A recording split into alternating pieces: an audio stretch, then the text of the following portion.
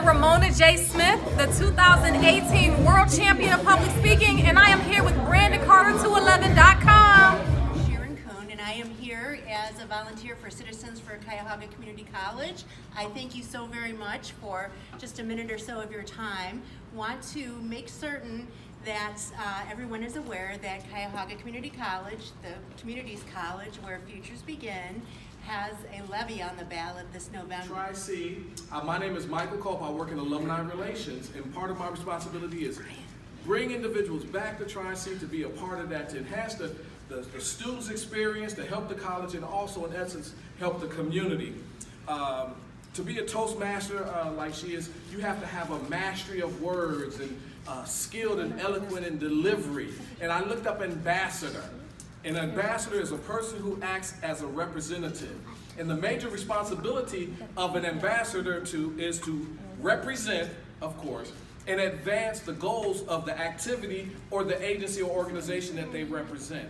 And I will tell you, maybe you don't know that Ramona also won the 2019, 2000, oh, I'm sorry. Oh, no, go ahead. Okay. like, hold on, you know, so the, night, uh, the 2019-20 uh, Rising Star Alumni Award, Distinguished Award from Tri-C. Let's get it. I'm in a wheelchair. As you, as you can see, sorry. These 20 years, you can't miss them. They 10 if I keep it. I've been in this chair 13 years now. Victim of a stray bullet.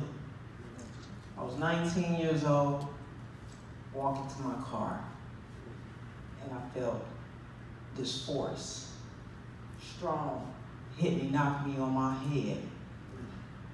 And I laid there. I didn't know what hit me, but I laid there breathless. I couldn't breathe. I couldn't yell. And no one came around to see me for about 10 minutes because I guess nobody wanted to get hit either. In my own neighborhood, I laid there. And when I found that I was paralyzed, I was depressed. I stopped eating. I stopped talking.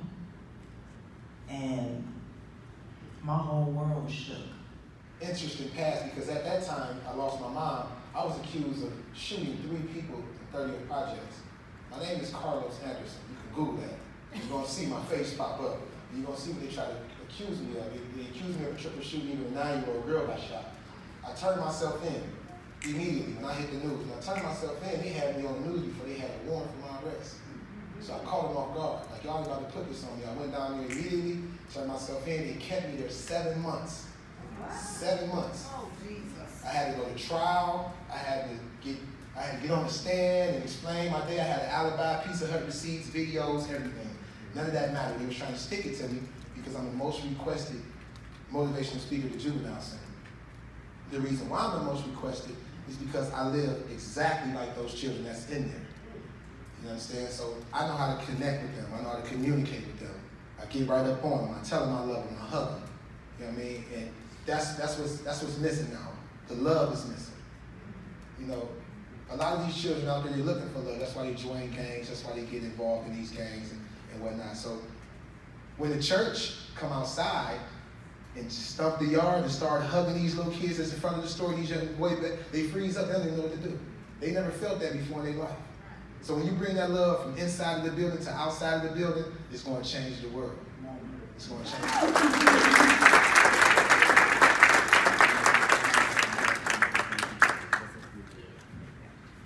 Hey, how you doing today?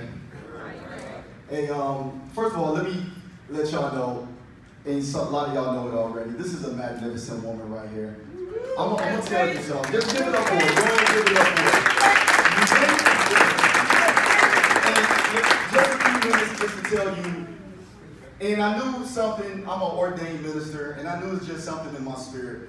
When 2019 hit, I said, Father God, let me have divine connections. You know, I just don't need to be bumping into people and trying to make friends. I'm all about divine connection.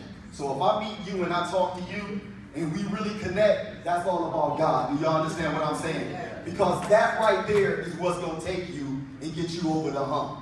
And meeting her, just her inspiration, just her resilience, just her resolve is what motivates me just from afar. I don't know about y'all, but I come from the inner city of Detroit, and she talking about the wasteland. I come straight from the dirt, east side of Detroit. My mother was slain when I was one years old. My father acted like he had something better to do, and he didn't want to raise me. I was raised by a southern man from Mississippi with a sixth grade education that was extremely rough on me. I didn't know what it was like to be a man. But here I stand before you today, a father of four, been married for 20 years, 20 plus years retired in the military, and I'm striving to be somebody like her. 2016, and I was uh, I was all nervous, and we were supposed to talk and give our experience of Tri-C and what we've been through and, and the different things. It was called Motivational Monday. And I was so nervous. I really wanted to take a picture of everything. So while everybody was out of the room, I took a picture of our name tags. And that was my first exposure to Mona. And I was inspired by her story. I was supposed to be telling my inspired story, but I was like, dang, on. I thought I had it bad and climbed out. She climbed out of a situation that she was in, and it made me inspired even more to hear from her. It's my pleasure to introduce the 2018 World Champion of Public Speaking, Ramona J. Smith. So give yourself, give her a round of applause or put your hands together for Ramona J. Smith.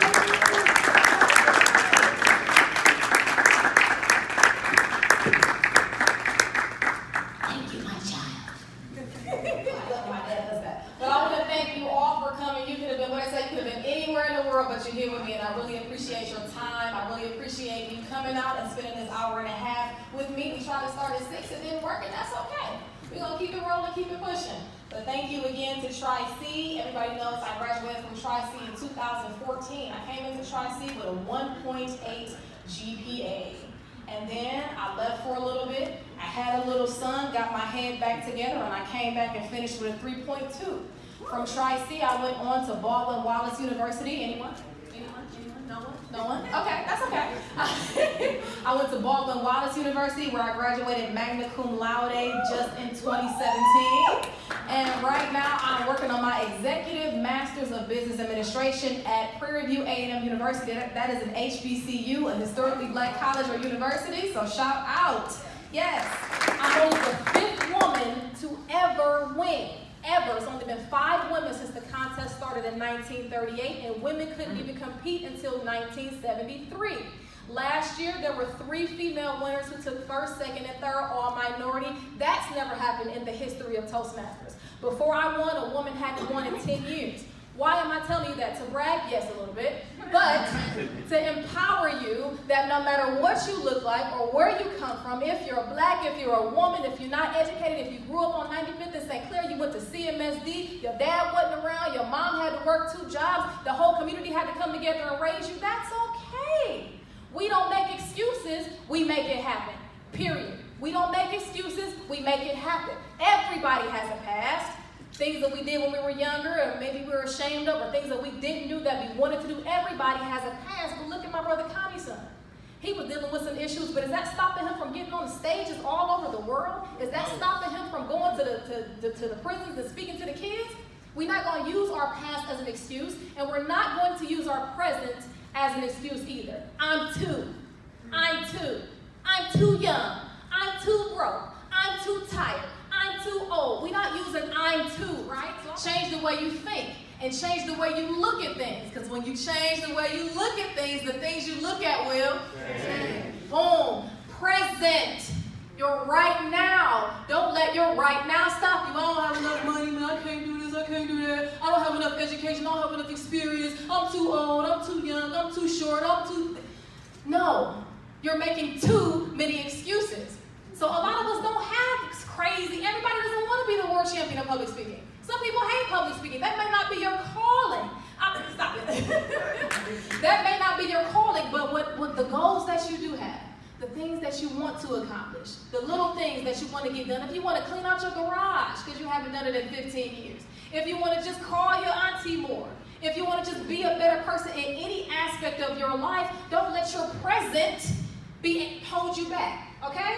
We heard from Tara. You saw her situation. If this woman is pursuing her dreams from a wheelchair, really?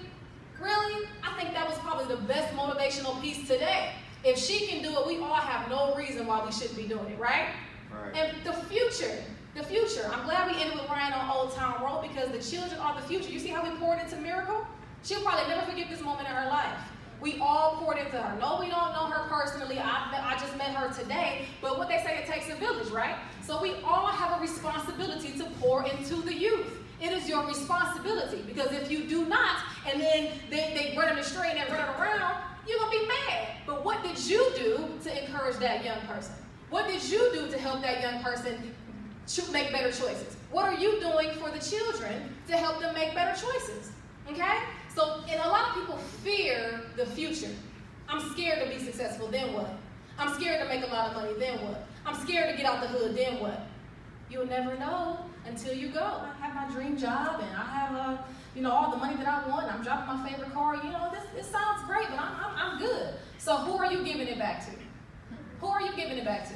If you're in the best position right now and everything is great and with the things that we're saying, it's like, oh, I've been there, done that, who are you passing it down to? Who are you mentoring? Who are you telling your story to to encourage and inspire them? But for those of us who are not quite there yet, I'm still not there yet. For those of us who are not quite there yet, what's holding you back? What is it that you want to do in your life that you're not doing? What is it? Because I know everybody in here has a dream. Everybody in here has a purpose or, or a passion or something that you want to pursue. So my question to you is when? And if you're pursuing that, if you're in pursuit of that, then what's the next level? When can we level up? What's next now? Like if you, I'm gonna pick on you for a minute. if you're already a hairstylist, right? And you're in the salon and you got your the, the clientele and, and things like that, what's next? What's the next level? I come back to Cleveland often and I see a lot of people are content. You're content with where you are. You're content with your situation. Everything is good. Everything, yeah, yeah, I'm doing it. Why can't we level up? Cleveland has so much talent. We should be the trendsetter for New York. We should be the trendsetters for Atlanta. We should be the trendsetters for LA. But what's holding you back? What's holding you back? With the boys with the hoodies, who you go, oh my God, here he comes. He's going to resonate with that and make sure that they're not going to do nothing crazy to you when they're walking up the street. So that's why I wanted Connie's son to come because he's a representation of Cleveland. He's a representation of the men in Cleveland, and he is doing everything in his power to end this vicious cycle that our young black men are going through in Cleveland. So let's give it up one more time.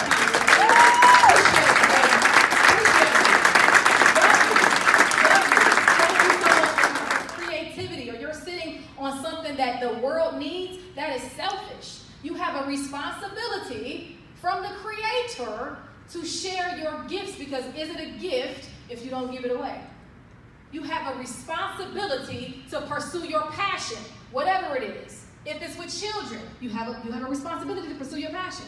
If it's the ministry, you have a responsibility to pursue your passion. If it's fashion, if it's reading, what, whatever it is, you have a responsibility to pursue that. And anytime you're not doing it, you're doing a whole world of disservice. And it's not fair. So I challenge you and I urge you, if you don't know what your passion is, that's okay. You know something that you're good at. You know something that you like doing. You know something that when you do it, you get that little, uh, or you, you get in the zone.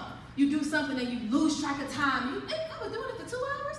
You lose track of time. So whatever that is, outside of a nine to five you probably hate anyway, outside of a nine to five, what is that passion? What is that gift? What's holding you back from sharing it with the world? I'm sharing mine with the world. I've been all over. I started in Dubai. Went to Abu Dhabi, Oman, Qatar, Kuwait, Sri Lanka, India, Saudi Arabia, Bahrain, Brazil. Did a little bit of stuff in Montreal. Went to Ghana for a couple weeks to study abroad. I'm doing my part. Now it's my job to urge you to do the same. Okay? We good? Nothing gonna hold us back? Good? All right, DJ Drew Scott, take us home. Thank y'all so much for coming. I appreciate you. Love you so much. Love you.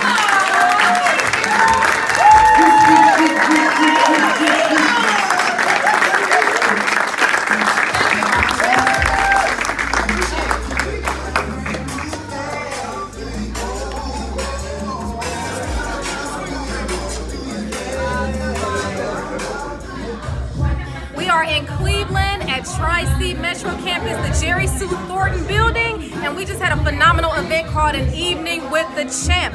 have you discovered the champion within you? You know you can do anything. Anything that I can do or anyone else who's awesome can do it, you can do it too. Be great.